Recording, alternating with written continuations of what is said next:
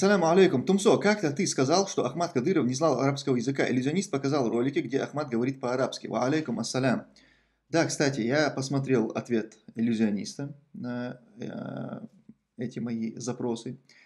И мы чем вообще отличаемся от кадыровцев? Тем, что если нам что-то доказывают, мы это принимаем. Это и есть наше главное отличие от э, несправедливых людей. Что если тебе что-то доказали, как бы нам это неприятно не было, мы должны это принимать. Поэтому в этом вопросе он действительно нам показал, что Ахмад Кадыров изъяснялся на арабском языке.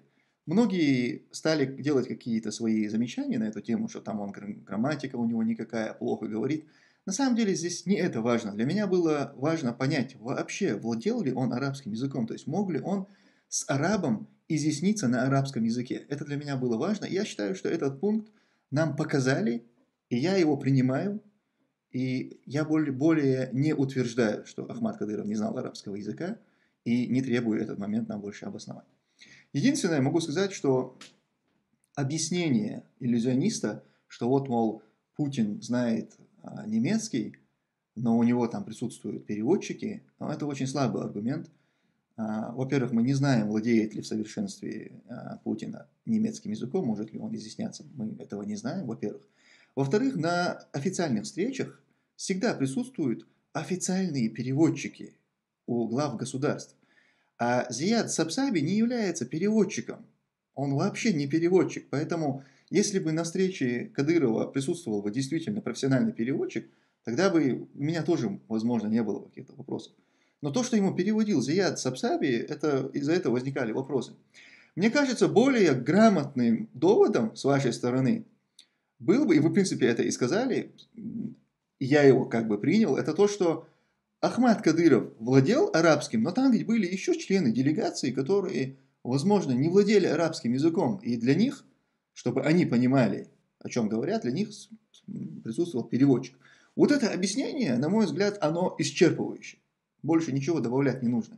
Не нужно приводить там Путина, а, каких-то других глав государств. Это, это все как бы легко опровергаемо. Вот это, на мой взгляд, аргумент. И то, что он говорил на арабском языке, мы это увидели, мы это приняли.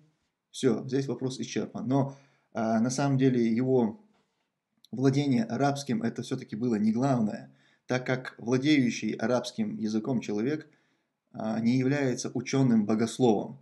То есть наша основная претензия и наш основной вопрос был в том, что он, если он является ученым богословом исламским, как вы об этом заявляете, то э, я делал три запроса, вот если бы сзади меня сейчас висела бы э, доска, то там было бы написано Ахмад Кадыров, ученый, вопрос.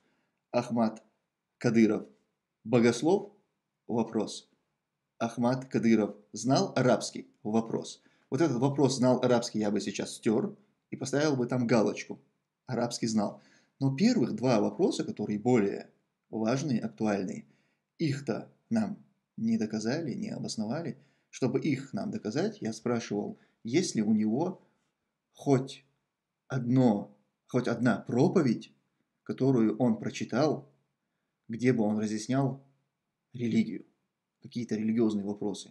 Вот помимо призывов к насилию, к убийству, к уничтожению террористов и ваххабистов. У него было что-нибудь? Может быть, он разъяснял нам основы ислама? Может быть, он э, условия шахады где-то нам разъяснял? Может быть, он пять столпов ислама разъяснял, шесть столпов имана, столпы ихсана? Может быть, он что-то в этом направлении делал? Может быть, он какие-то вопросы фикха исламского права разбирал? Может быть, он какие-то семейные вопросы, бракосочетания, развода? Вот что-нибудь есть у него, какие-нибудь проповеди. Это был мой первый запрос. Второе, есть ли у него какие-то научные труды? Составил ли он после себя какие-то книги по шариатскому праву, может быть, там по вероубеждению, по э, методологии, там, по мангаджу и так далее. Есть ли у него что-то подобное? Вот это были два основных вопроса.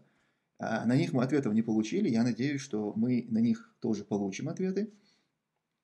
Приведенные там какие-то рекомендации Ахмату Кадырову от каких-то там узбекских э, товарищей, э, но это вообще ни о чем. Я убежден, что эти же узбекские товарищи, они ровно такие же рекомендации давали и об исламе там, Каримове, который у них был там президентом. То есть это вообще не принимается. Нам все-таки нужно, чтобы вы показали его хоть один научный труд, который он после себя оставил, или хоть одну проповедь, которую он прочитал не на тему насилия и а, уничтожения кого бы то ни было. Так вот, а, я думаю, что либо вы это нам предъявите, так же, как вы показали нам знание арабского языка, либо вы, следуя нашему примеру, как мы сейчас отступили, да, арабский язык вы доказали, мы это приняли, либо вы точно так же последуете нашему примеру и скажете, да, действительно, ученым он не был. Вот тут мы тоже соглашаемся с вами. Он знал арабский язык, он так немного э, изучал религию, но ученым, богословом его назвать нельзя, он по знаниям не дотягивал. То есть, либо вы должны сделать это, последовав нашему примеру. Но я очень сомневаюсь, что вы вообще э, способны на то, чтобы признавать свои ошибки и а, принимать аргументы противоборствующей стороны. Вы за все эти 20 лет э, существования вашего режима в Чечне, вы ни разу этого не сделали. Задумайтесь о люди. Сколько было различных обращений, критики от жителей нашей республики, и не только от жителей, в адрес этой э, российской власти в Чечне, в адрес кадыровцев. И ни разу еще не было так, чтобы эти люди, озвучившие какую-то критику, чтобы они оказались правы. Всегда права оказывалась власть, а эти люди, они либо э, засланные какими-то западными спецслужбами товарищи, либо умалишенные, либо просто недостойные, неуважаемые и так далее. То есть все, что угодно. Их подвергали жесткой дискредитации, причем на тему, которая вообще никак не была связана с, с вопросом вот этой критики. То есть они, мы с вами помним, как, допустим, девушка пожаловалась Кадырову, что ей не выдают зарплату в департаменте культуры Курчулаевском. Ее привезли, привезли этих э, чиновников.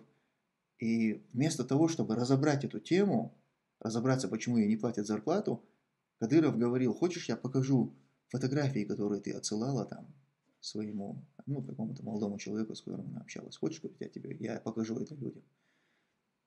Какое это отношение имело к зарплате, к ее работе? Он просто ее дискредитировал, и она сразу отказалась, как бы дала заднюю, как говорится. А оказалось, что зарплату ей не выдавали, это нормально, ничего страшного, а через какое-то время ее выдадут. И вот как пример я хочу сейчас последнюю, последнюю ситуацию.